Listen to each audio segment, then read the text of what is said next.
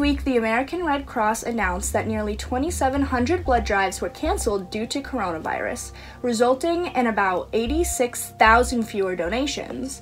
The Red Cross referred to the situation as a severe blood shortage. To bolster those numbers, GLAAD has started a petition asking the United States Food and Drug Administration to lift its ban that prevents men who have sex with men from donating blood.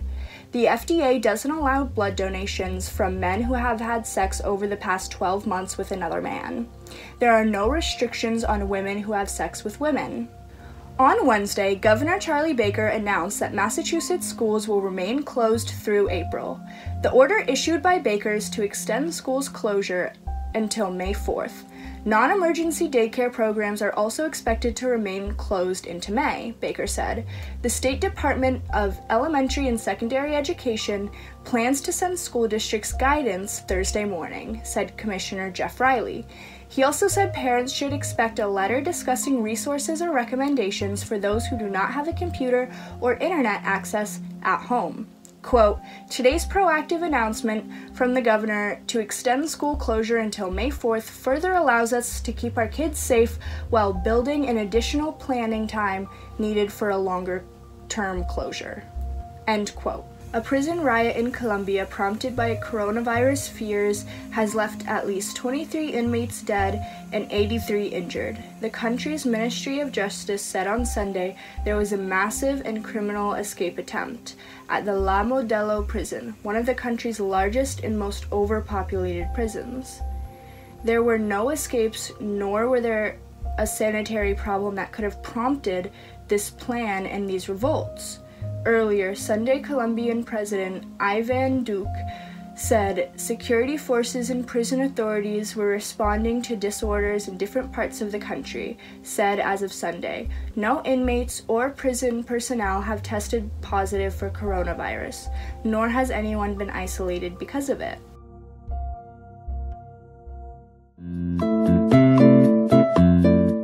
Hi, I'm Katie, and welcome to my closet. As you probably know, Governor Baker declared yesterday that all Massachusetts schools will be closed until May 4th. This extension raises a lot of questions. How will NHS react to this? What's going to happen with online learning? Well, look no further because I talked to Ms. Vaillancourt about those very questions.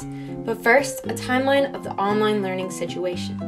Friday, March 13th was a half day for the Northampton Public Schools and the day we first got word of the school closing.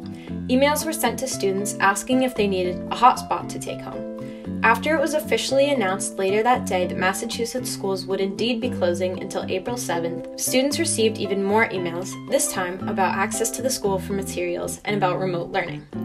However, on March 19th, less than a week since the closing of schools, students got word that their online work was not able to be graded as stated by the Department of Elementary and Secondary Education. And now, Ms. Vaillancourt on the subject. This is Ms. Vaillancourt. I'm the principal of Northampton High School. You know, everyone is asking what the plan is for this school, and really, we are still kind of waiting for information from the Department of Education to guide us in what the next steps are. So, in the meantime, our district has come together and we have determined that until we get further guidance, what we will do is we will continue to offer students opportunities to engage in academics through enrichment activities. So, teachers have been asked to provide students with uh, review lessons and enrichment like activities that they can participate in through home. So, some teachers are using Google Classrooms, some are just sending um, attached assignments for students to participate in. Really, our goal right now is to continue to connect with students, make sure students are okay, to try to alleviate some of the um, monotony of a day that could happen while students are at home, and to provide them with some social and academic contact with their teacher. So, all of this is being put into place now. But what we anticipate is that there may come a time where we will change um, how we are teaching remotely and we will have some new systems in place and protocols. I feel like students will be intrinsically motivated to complete the work because they'll want to continue um, thinking and engaging with academics, but it's a little bit of an educational debate, I would say, as to whether kids will participate and do work if they're not being graded on it. Keep your eyes on the news and your ears out for the phone while awaiting further information on the status of schools and online learning. In the meantime, stay inside and wash your hands. Thanks for watching.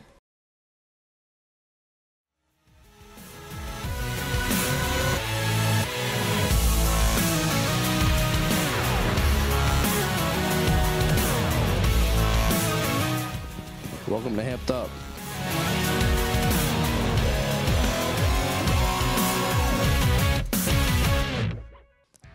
Hello, my name is Adele Jordan. Welcome to First Take Transcript Edition. Today I am joined by Owen Shelfo and Ben Fowler. We will be discussing the effects of COVID 19, the rapidly spreading disease, in American sports today. My first question for you two is how you have been handling your time without the presence of sports in your life. Owen?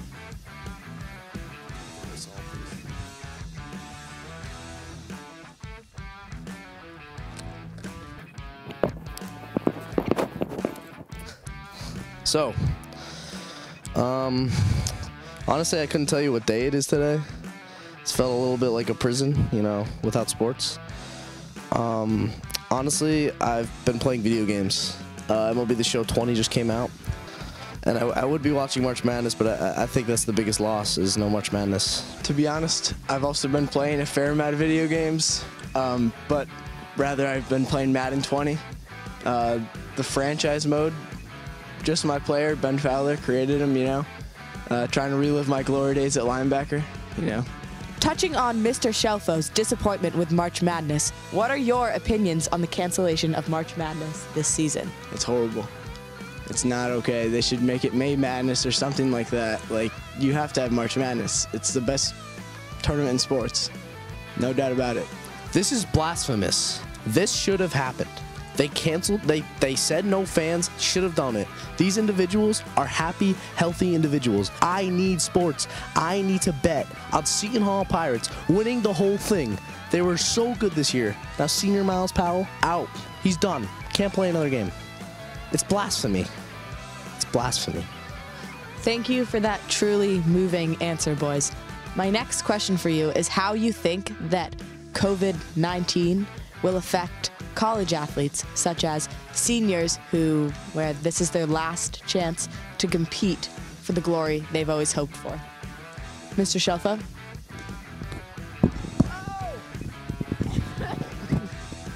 Well, I'm going to be honest. Uh, the NCAA did a great job here. They uh, retained eligibility to uh, all spring athletes that got their season canceled, but they didn't give seniors in winter sports, including basketball, um, el- eligibility again. And there are girls, the Smith College girls, D3 Elite 8. They can't play anymore. And and some of those seniors, they're just done. Never playing again. It's blasphemy. Sorry to flex on you, Mr. Shelfo, but uh, I commentated one of their games earlier in the season, and uh, they don't have any seniors, so they're going to come back next year stronger than ever, and they're going to win it all probably. Roll Pioneers. But uh, to touch on this, like I think college and high school seniors should both be able to come back for one last semester in the fall, and we can all play fall sports and a little bit of winter sports. You know, we can come back for football, for soccer, for cross country, for field hockey, whatever. You know, and we can all just have a good time. You know, just one more semester because coronavirus ruined our senior spring. Mine, along with all the high school and college seniors across the country. It's tragedy. It really is. It's so sad. touch on what Mr. Fowler said. The absolute blasphemous statement he made about seniors getting their eligibility back in high school. It's not happening, brother. You, along with all your other senior buddies, are going to college. Why would the MIAA, why would the MIAA give you losers another reason to lose to Amherst again in football? Why? Why would they do that? You know, they had to get us one of the four years we were in high school. It happens, you know. You lose some, win some, you lose some. Like they scored right before the half, and then they got the ball back and scored right after the half. They double double dipped us. They made it to the state championship. I didn't like. It was lucky, you know. I feel like we could have done the same if, if uh, some people were given more opportunities, you know. So, uh, screw you, Owen. That's all I gotta say. Well, that's a wrap, folks. Thank you for watching today. We had the pleasure of being joined by Owen Shelfo and Ben Fowler. I hope you enjoyed their opinions on COVID 19 in the athletics world, and I hope you stay safe out there, six feet apart. Thank you. Wash your hands. Hi, and welcome to my chair. So, in this rather strangely filmed transcript segment, uh, we're all kind of quarantined in our houses, so I figured why not try and deliver my five most bingeable shows to you guys to kind of take up some of your time you have when you're sitting in your house wishing you could be out with your friends. So, to start us off, we have You on Netflix. So, from a team of various Netflix directors and heads, You is this very engrossing drama following how love at first sight quickly takes a turn for the worse. I was very drawn into the first season, and the second season didn't feel like it had the same stakes as the first season, so I kind of dropped off. But if you guys like it, let me know. Uh, I'm sure it's still worth it. So, up next, we have The Handmaid's Tale, which is an adaptation of Margaret Atwood's 1985 novel. It follows the story of a woman who is forced to become a handmaid in a patriarchal republic that is taken over America. It's a very, very good show. It's incredibly well done. And season one and two are just some of my favorite TV. Definitely give this one a watch. Um, third of all, we have Altered Carbon on Netflix. So, in a dystopian world where stacks can hold human consciousness, Altered Carbon follows a story of a man known as the Last Envoy.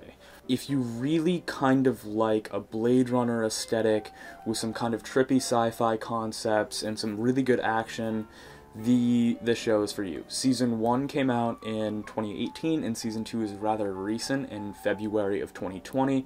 I like it a lot. Let me know what you think. Next, we have Narcos on Netflix. So, seasons one and two of Narcos follow the story of the infamous drug dealer and cartel leader Pablo Escobar and his, I guess, escapades in Colombia. Uh, it follows kind of the DEA, DEA, the Colombian police, and how they kind of work and track down this man. Uh, season three at, follows after Escobar's fall off and the rise of the Cali cartel, and they also have a new show called Narcos Mexico up that if you like the rest of the show, go give it a shot. I haven't tried Narcos Mexico, but I very much enjoyed my time with seasons 1 through 3 of the original. Last but not least, we have Don't Fuck with Cats on Netflix. Um, it's a true story following how a Facebook group of self proclaimed nerds ends up tracking down this man who had killed two cats. And how they did it is they just found all these little details in this very low quality video, and it's this very like white knuckle adventure that you get to be brought along on in this Netflix documentary. I highly recommend it. Uh, let me know what you guys think. So, those have been my five shows I recommend for you guys to watch during or binge watch during the quarantine. My DMs are always open. I don't have too much going on right now, so give me some feedback. Let me know if you guys liked uh, anything else I should cover, and see you next week. Hi, I'm Gus. And I'm Lane. Welcome, to, Deep Dive. This week we looked into the recent stock market decline caused by the coronavirus, invested some of our own money in the stock market, and talk to Eric Turner, financial advisor and investor, about the recent trends in the stock market. So, my name's Eric Turner. Uh, I'm vice president of market intelligence at a fintech startup called Messari. Uh, we focus on market uh, data for traditional and digital assets. Um, so, what we've been looking at recently is, you know, a lot of the macro economy, um, things happening across sectors, and specifically at uh, the impact on various countries and their currencies. You know, what happened was at the very beginning was there's a big liquidity crunch. So everybody, you know, I mentioned earlier the U.S. dollar being the one good trade that's out there. Everybody that was invested in stocks um, essentially wanted to get in dollars as fast as possible. And as everybody is trying to exit stocks into dollars, prices just continued to collapse. And it got to the point where, you know, anecdotally, I heard that there were some people that, you know, couldn't even exit positions because there was just nobody on the other end that wanted to buy those stocks, you know, not no matter what the price. Obviously, the market's come back a little bit. Um, I think some of the stimulus measures the government has announced have helped. I mean, you look yesterday, we had a historic, you know, high for the market. We went up 11%. Um, so I think we're going to continue to see this whipsaw action where the market goes up, market goes down. You know, we're not going to see any stability in the near term. And I think until we have an idea of when people can go out and start spending again, um, that's just going to be the new normal. Um, I think a lot of people towards the end of this bull run started to get a little more aggressive and shifted more money into equities than they should have had. Um, so I'm always a big proponent of making sure that you have a balanced portfolio um, ensuring that you have exposure to equities, but you also have exposure to bonds. You also have exposure to some, you know, alternative investments. Essentially, you want to make sure that you are counteracting anything that happens in the market. Uh, I, I do think we will continue. I don't think we're going to see the massive up and downs. I do think we'll continue to see some volatility. I mean, if you look at the winners and losers out of this, right? If you look at the individual sectors, uh, a lot of tech companies are going to do really well. Uh, we're talking right now on Zoom. Zoom is all of a sudden a company that everybody is using um, because they're all stuck at home. So you think about that. You think about Amazon. Uh, you think about retailers. I saw that Target saw a 20% jump in sales uh, last quarter or last month because of everybody stocking up. So you think about these companies, um, they are actually going to do well. And then on the other side, you know, you have the uh, airlines, the cruise ships, the hotels. Um, they're going to continue to suffer. So we invested in a stock market simulation, and we each only put in $10.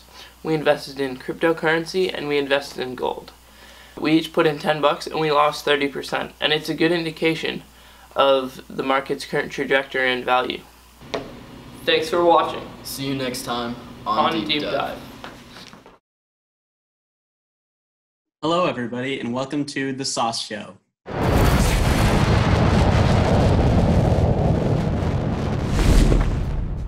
Today I'm joined by Nina Young and Isaac Steinberg, both members of Funktionlust, the high school's improv troupe. Um, Nina, could you tell us a little bit about um, improv and what it is?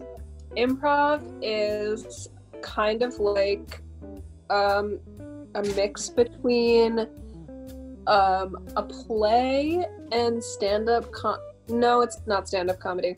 It's all made up so when we're on stage doing a show, everything we're doing is uh, made up, and um, we have some different games that we play, and they have different rules.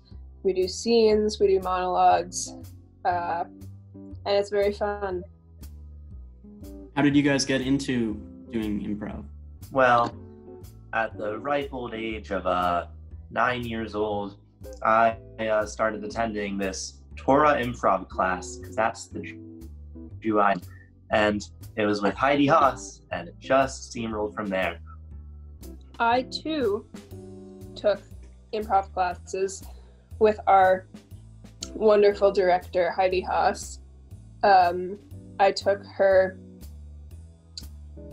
I don't even know what it's actually called. I don't think it has a name. I just called it improv class, but I started taking it when I was in fourth grade. And then I auditioned for the troupe in freshman year, and I have the rest is history. nice and spicy. Oh, it's not that bad. hmm.